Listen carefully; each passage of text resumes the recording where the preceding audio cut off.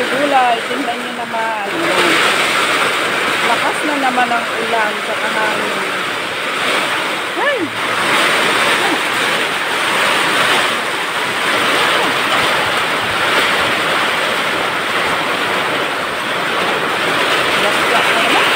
Tingnan nyo, pumapasok na sa kusina ko.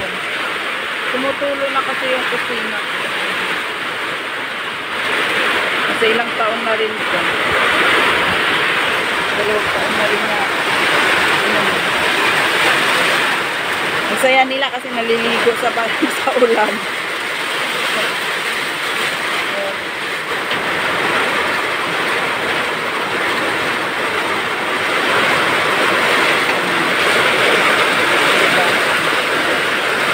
Dati ganyan din kami pag umuulan. Paligsahan. Paligsahan mag-igo. Tingnan naglalaro pa. Ano ito? Talaga o tingnan nyo. Lakas ng ulan. Hindi na makita. Hindi makita doon sa labas. Dahil maulan. Tingnan nyo. Parang hamog na lang. Oh.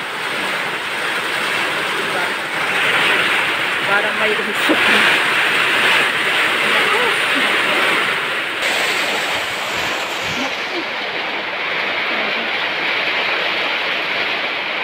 Kawawa yung rabbit ng anak ko. Nagsisiksik dun sa may gilid. Ayan, giniginig. Pagka ganito, ganito kalakas ang ulan, ito yung ano minsan na bumaha. Ito yung dahilan minsan na bumabaha yung ilog doon sa ano. Dun sa baba. Dun banda sa likod. My God. Wala. Mamaya buma na naman.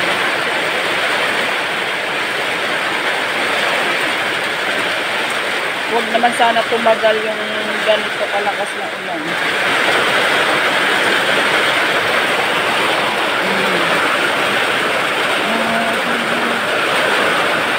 Paano ako makakapasok sa bahay? Ano niya? Dumi-dumi ko na ah. Nahuhulog kasi yung yung uling ng bubong. Kasi nga kusina ito. Ayun. Nahuhulog yung mga ganyan. Hmm.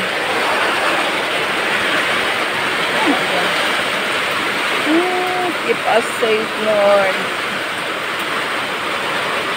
Keep safe, everyone.